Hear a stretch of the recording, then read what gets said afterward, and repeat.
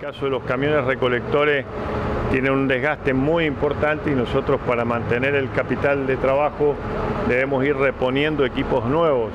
Y en este caso, bueno, son dos equipos más que se suman a la partida y, bueno, vienen a cubrir camiones que ya han cumplido su, vida posible en este, en este rubro. Tengan en cuenta la cantidad de horas que anda un camión de esto todos los días. Eh, pasa prácticamente de 3 a 4 turnos por día y eso hace la necesidad de comprar equipamiento nuevo.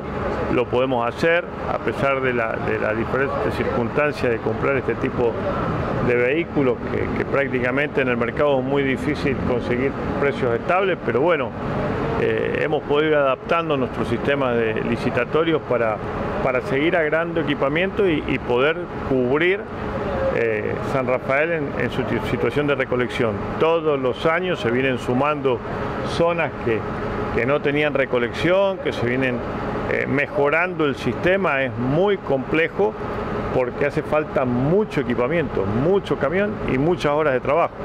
Si no lo renovamos, empezamos a tener los problemas de que se nos empieza a llenar el taller de, de reparaciones de la planta de servicio, se nos empieza a llenar de camiones. En este momento tenemos cinco camiones roto con, dificultades para hacerlos andar, se están mandando dos a, Mendoza, uno ya llegó, otro más que parte ahora para reparaciones integrales y en esto hay que invertir porque tiene que ver con los servicios básicos que, que, presta el municipio, que es la recolección domiciliaria.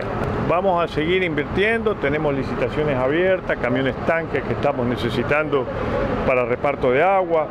Bueno, las necesidades de la población se, ven en todos lados y estamos tratando de, ir actualizándonos en equipamiento. El equipamiento es la clave. Tenemos muchas dificultades en, el sentido de que estos camiones son muy caros y que realmente eh, lograr eh, mantener el, equipamiento del municipio actualizado es una inversión, pero la tenemos que hacer y tiene que ver con la obligación que tiene el municipio de prestar su servicio como corresponde. たたたたたたたたたたたた。